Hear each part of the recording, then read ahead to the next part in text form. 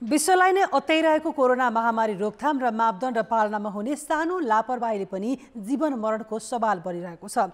यति भयावह महामारी कसैका लागि भने अवैध रूपमा पैसा कुम्ल्याउने माध्यम बनेको छ। तर कोरोना परीक्षणको रिपोर्ट समेत नक्कली बनाउने धन्दा चलिरहँदा अनुगमन र कारबाही प्रभावकारी हुन सकेको छैन।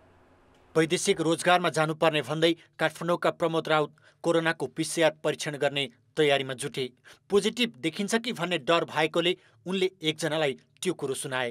तब उनले अर्का एजेन्टलाई भेटाइदिए अनि अठार हजार रुपियाँ बुझाएपछि काठमाडौँको तिनकुने स्थित कान्तिपुर अस्पतालमा परीक्षण गर्दा नेगेटिभ देखिएको रिपोर्ट उनको हातमै आइपुग्यो।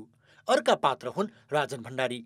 उनले पनि एजेन्ट मार्फत आठ हजार तिरेपछि नमुना सङ्कलन नै नगरी भक्तपुरको नागरिक अस्पतालको प्रयोगशालामा परीक्षण गरेको नेगेटिभ रिपोर्ट घरमै आयो।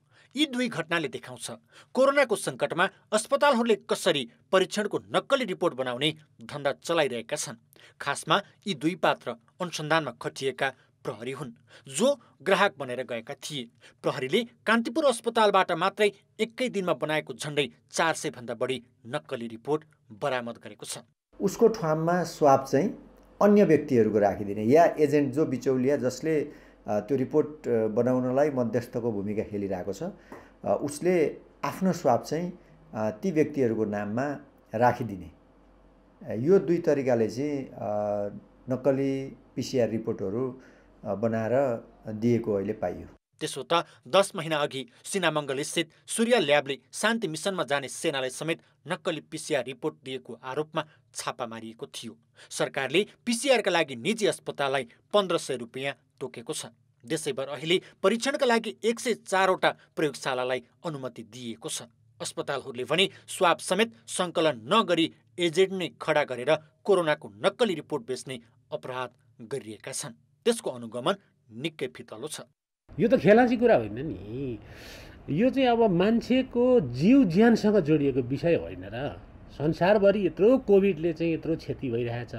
लाखौँ मान्छेको ज्यान गइसकेको छ।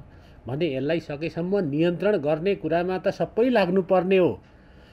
अब त्यसमा पनि जिम्मेवार निकायकै तर्फबाट चाहिँ यस्तो गलत काम भइसकेपछि त यो त छोड्ने कुरा भएन सङ्क्रमण परीक्षण नै नगरी बोराका बोरा नक्कली रिपोर्ट बनाएर बेच्नु अक्षम्य अपराध हो। अझ विदेश जानेलाई नक्कली रिपोर्ट भेडाउँदा रोगको जोखिम मात्रै बढाएको छैन मुलुकको प्रतिष्ठामाथि समेत खेलवाड भइरहेको छ।